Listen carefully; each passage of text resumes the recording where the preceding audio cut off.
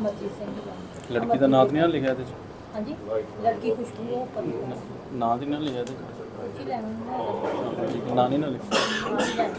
ਇਹਦੇ ਇਹ ਅ, ਥਾਣਾ ਗੇਟ ਕੀਮਾ ਦੇ ਵਿੱਚ ਇੱਕ ਮੁਕੱਦਮਾ ਨੰਬਰ 136 ਅ, ਜਿਹੜਾ ਵਾ 31724 ਦਾ ਦਰਜ ਹੋਇਆ ਸੀਗਾ ਜਿਸ ਦੇ ਵਿੱਚ ਇੱਕ ਨਾਬਾਲਗ ਲੜਕੀ ਜਿਹੜੀ ਆ ਉਹ ਗੁੰਮ ਹੋਈ ਸੀਗੀ ਤੇ ਉਸ ਦੇ ਪਿਤਾ ਦੇ ਬਿਆਨ ਦੇ ਉੱਤੇ ਇਹ ਮੁਕੱਦਮਾ ਦਰਜ ਹੋਇਆ ਸੀਗਾ।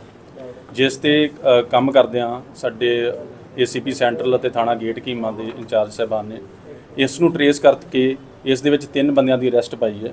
ਇਹਦੇ ਵਿੱਚ ਕਿਰਨ ਦੇਵੀ ਰਾਜਕੌਰ ਤੇ ਨਵਜੋਤ ਕੌਰ ਗੌਰਾ ਇਹਨਾਂ ਦੀ ਜਿਹੜੀ ਹੈ ਇਸ ਮੁਕੱਦਮੇ 'ਚ ਅਰੈਸਟ ਹੋਈ ਹੈ।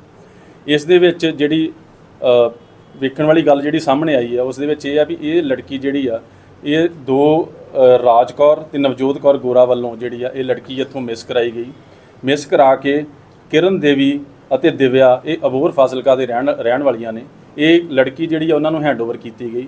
ਉਸ ਉਹਨਾਂ ਨੂੰ ਹੈਂਡਓਵਰ ਕਰਨ ਤੋਂ ਬਾਅਦ ਇਹ ਲੜਕੀ ਅੱਗੇ ਹੈਪੀ ਪੁੱਤਰ ਵਿਜੇ ਕੁਮਾਰ ਜਿਹੜਾ ਵਾ, ਉਸ ਨੂੰ ਜਿਹੜੀ ਆ 1 ਲੱਖ ਰੁਪਏ ਦੇ ਵਿੱਚ ਇਸ ਨੂੰ ਸੇਲ ਕੀਤਾ ਗਿਆ। ਇਹ ਸਾਰੀ ਜਿਹੜੀ ਤਫਤੀਸ਼ ਨੂੰ ਅਨਰਥ ਕਰਕੇ ਇਸ ਦੇ ਵਿੱਚ ਜਿਹੜੇ ਤਿੰਨ ਦੋਸ਼ੀਆਂ ਦੀ ਜਿਹੜੀ ਅਰੈਸਟ ਕੀਤੀ ਗਈ ਹੈ ਜਿਹੜੀ ਗੁੰਮ ਲੜਕੀ ਸੀਗੀ ਉਸ ਨੂੰ ਇਸ ਦੇ ਵਿੱਚ ਬਰਾਮਦ ਕੀਤਾ ਗਿਆ ਵਾ ਤੇ ਇਸ ਦੇ ਵਿੱਚ ਜਿਹੜੇ ਦੋ ਦੋਸ਼ੀ ਆ ਉਹਨਾਂ ਨੂੰ ਅਰੈਸਟ ਕਰਨ ਦੇ ਲਈ ਸਾਡੀਆਂ ਟੀਮਾਂ ਜਿਹੜੀਆਂ ਆਲਰੇਡੀ ਗਈਆਂ ਹੋਈਆਂ ਨੇ। ਉਹ ਜਨਾਨੀ ਦਾ ਬੱਚੀ ਨਾਲ ਕੋਈ ਰਿਸ਼ਤਾ ਜੀ ਇਹ ਇਹ ਇਹ ਜਿਹੜੀ ਆ ਉਹਦੇ ਰਿਸ਼ਤੇ ਦੇ ਵਿੱਚ ਜਿਹੜੀਆਂ ਦੋ ਅਰੈਸਟ ਕੀਤੀਆਂ ਨੇ ਉਹ ਚਾਚੀ ਭਤੀਜੀ ਲੱਗਦੀਆਂ ਨੇ ਇਹਨਾਂ ਦੀਆਂ ਇਹਨਾਂ ਦੇ ਸ਼ਰੀਕੇ ਦੇ ਵਿੱਚ ਹੋਈਆਂ।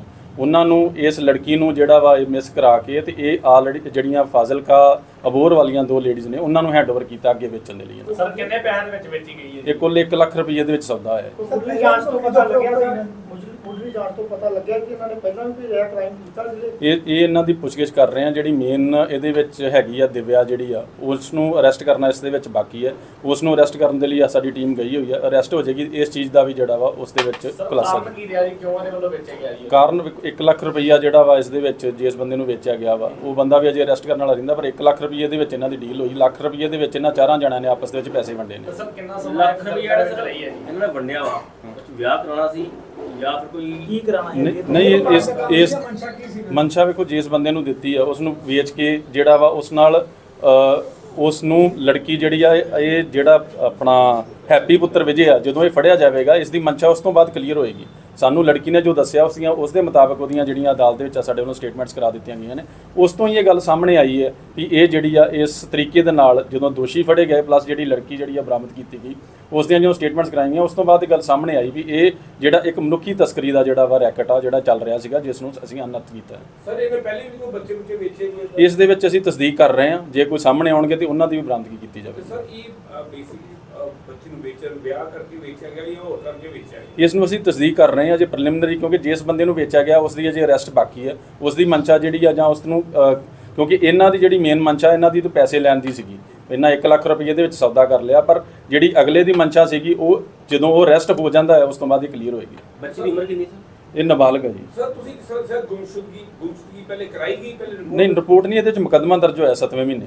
136 ਨੰਬਰ ਮੁਕੱਦਮਾ 31724 ਦਾ ਜਿਹੜਾ ਵਾ ਇਹ ਦਰਜ ਹੋਇਆ ਵਾ ਉਸ ਦੇ ਫਾਦਰ ਦੀ ਸਟੇਟਮੈਂਟ ਬਹੁਤ ਦੀਆਂ ਲੇਡੀਜ਼ ਹੈ ਇਹ ਪਹਿਲਾਂ ਵੀ ਬੱਚੇ ਕਿਦੋਂ ਕਰਦੀਆਂ ਇੱਕ ਵੇ- ਇਹ ਪਾਰਟ ਆਫ ਇਨਵੈਸਟੀਗੇਸ਼ਨ ਹੈ ਮੇਨ ਜਿਹੜੀ ਆ ਉਹ ਇੱਕ ਜਿਹੜੀ ਲੇਡੀ ਅਰੈਸਟ ਕਰਨ ਵਾਲੀ ਰਹਿੰਦੀ ਉਸ ਤੋਂ ਬਾਅਦ ਇਹ ਸਾਰੀ ਜਿਹੜੀ ਕਹਾਣੀ ਕਲੀਅਰ ਹੋ ਜਾਏਗੀ।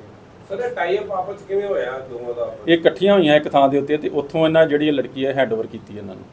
ਤੇ ਪਹਿਲੇ ਇਹਨਾਂ ਦਾ ਰਿਪੋਰਟ ਸੀ ਇਹਨਾਂ ਦਾ ਆਪਸ 'ਚ? ਲਿੰਕ ਕਿੱਦਾਂ ਹੋਇਆ ਸਰ? ਇਹ ਲਿੰਕ ਅਜੇ ਇਨਵੈਸਟੀਗੇਟ ਕਰ ਰਹੇ ਹਾਂ ਇਸ ਚੀਜ਼ ਨੂੰ ਵੀ ਇਹ ਜਿਹੜਾ ਨੈਟਵਰਕ ਆ ਇਹ ਪਹਿਲਾਂ ਕਿੰਨਾ ਚੱਲਦਾ ਸੀਗਾ ਪਹਿਲਾਂ ਕੋਈ ਤੇ ਇਹਨਾਂ ਤਸਕਰੀ ਕੀਤੀ ਕਿ ਨਹੀਂ ਕੀਤੀ ਪਹਿਲਾਂ ਕਿਸ ਕੋ ਪੈਸੇ ਲਏ ਆ ਉਹ ਅਸੀਂ ਇਨਵੈਸਟੀਗੇਟ ਕਰ ਰਹੇ ਹਾਂ। ਜੇ ਹੋਰ ਵੀ ਇਹਦੇ ਵਿੱਚ ਬੱਚੇ ਜਾਂ ਬੱਚੀਆਂ ਆਉਣਗੀਆਂ ਸਾਹਮਣੇ ਤੇ ਉਹ ਅਸੀਂ ਤੁਹਾਡੇ ਨਾਲ ਨਸ਼ਰ ਕਰਾਂਗੇ। ਕਾਫੀ ਸਮਾਂ ਲੜਕੀ ਇੱਥੋਂ ਦੂਰ ਰਹੀ ਆ। ਉਹਦੇ ਨਾਲ ਸਰੀਰਕ ਸ਼ੋਸ਼ਣ ਉਸ ਦੇ ਮੁਤਾਬਕ ਜੋ ਕਾਨੂੰਨੀ ਕਾਰਵਾਈ ਸਾਡੇ ਵੱਲੋਂ ਕਰਨੀ ਬਣਦੀ ਸੀਗੀ ਜੋ ਉਹਦੀਆਂ ਸਟੇਟਮੈਂਟਸ ਕਰਾਉਣੀਆਂ ਬਣਦੀਆਂ ਸੀਗੀਆਂ ਜੋ ਸਭ ਸਾ- ਸਾਡੇ ਕੋਲ ਜਾਬਤੇ ਅਨੁਸਾਰ ਕੰਮ ਕਰਨਾ ਬਣਦਾ ਸੀਗਾ ਉਹ ਸਾਡੇ ਵੱਲੋਂ ਜਿਹੜਾ ਵਾ ਸਾਡੀ ਪੁਲਿਸ ਪਾਰਟੀ ਵੱਲੋਂ ਕੀਤਾ ਗਿਆ। ਹੈ। ਸਰ ਅਬੋਰ ਦੇ ਵਿੱਚ ਕੋਈ ਅੱਡਾ ਫੜਿਆ ਗਿਆ ਕੋਈ ਜਿੱਥੇ ਕੁੜੀ ਨੂੰ ਬਰਾਮਦ ਕੀਤਾ ਨਹੀਂ ਉਹਦੇ ਵਿੱਚ ਜਿਹੜਾ ਮੇਨ ਅਰੈਸਟ ਜਿਹੜੀ ਆ ਉਹ ਕਰ ਲਈ ਹੈ ਜਿਹੜੀ ਅ, ਜਿਹੜੀ ਇੱਕ ਲ- ਲੜਕੀ ਲੇਡੀ ਜਿਹੜੀ ਆ ਉਹ ਅਰੈਸਟ ਕਰ ਲਈ ਹੈ ਦੂਸਰੀ ਅਜੇ ਬਾਕੀ ਹੈ ਉਹ ਅਰੈਸਟ ਕਰਨ ਤੋਂ ਬਾਅਦ ਜਿਹੜੀ ਇਹ ਸਾਰੀ ਕਹਾਣੀ ਜਿਹੜੀ ਪਿਕਚਰ ਕਲੀਅਰ ਹੋ ਜਾਏਗੀ